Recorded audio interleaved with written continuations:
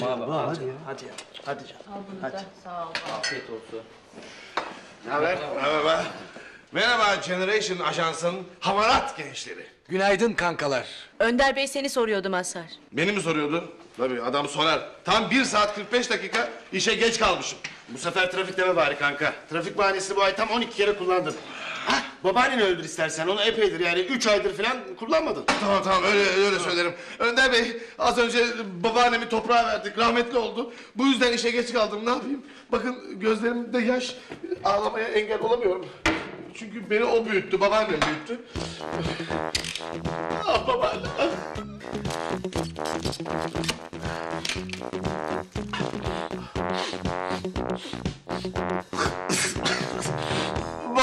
Babaanneciğim, babaanneciğim. 18.750 dolar Kramer Company'den. 18.750. Önder Bey, biliyorum yine çok geciktim ve yine siz bana çok kızacaksınız ama çok önemli bir mazeretim vardı efendim. Ben mi sana kızacağım? Niye kızayım evladım? İnsan uyuya da kalabilir, geç de kalabilir. Yani siz bana kızmadınız mı?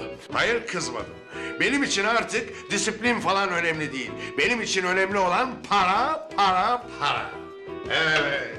Bundan sonra rahmetli Napolyon benim önderim.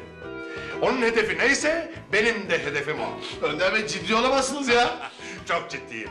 Ee, şimdi camiye gidip ortalıklarda namaz kılarken görüneyim. Arkasından da liberallerle öğlen yemeği yiyeceğim. Akşam da sosyal demokratlarla görüşmem var.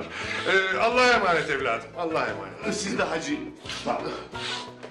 Vay dönek vay.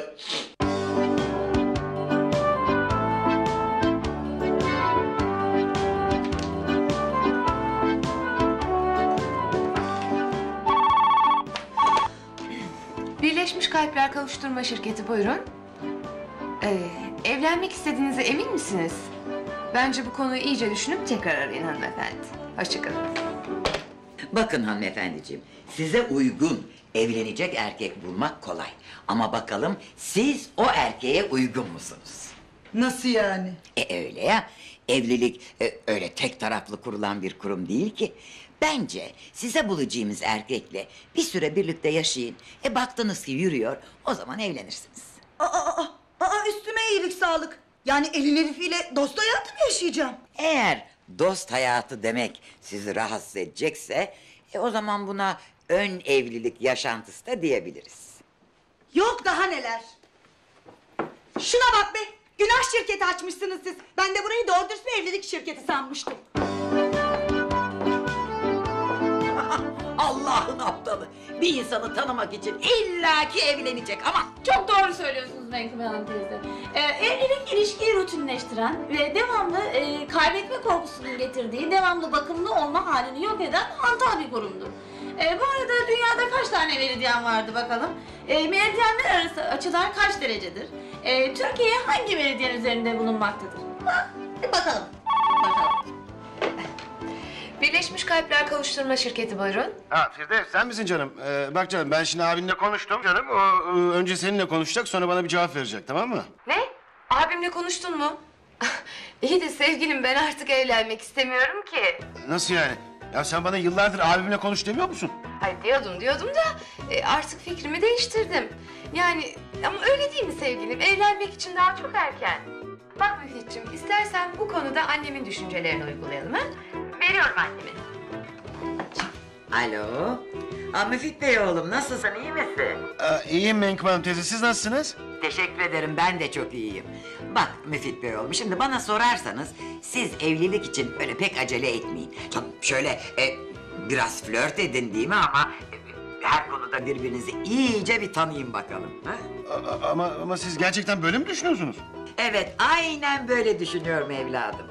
Yani bence aklı başında olan ve çağdaş her anne de böyle düşünmelidir. Aa, bak ne diyeceğim Müfit sen akşama bize uğra da Firdevs'i al şöyle biraz gezip dolaşın ha. Tamam bekliyoruz. Hadi çocuğum güle güle. Aman bu Müfit de ne kadar eski kafalı değil mi anneciğim? Sanki evlenince başımız göğe erecek. Ya kankama da evleneceğiz dedik ayıp olacak şimdi. Summer's almost gone, yes, winter comes along. Hello arkadaşlar. Hello Önder Bey. Hello Önder Bey. Aa, Önder Bey, siz e, Amerikan bayraklı kazak giymişsiniz. Evet, Biraz sonra bir Amerikan şirketinin Türkiye'deki temsilcisiyle görüşmeye gideceğim. Onlara şirinlik olsun diye böyle giyindim. Vay canına hayata bak.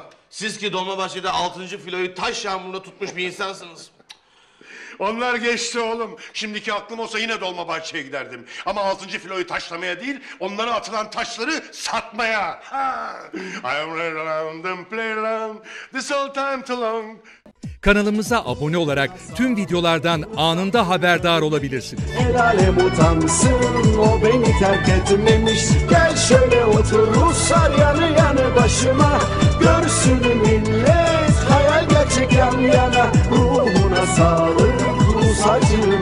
gitmiş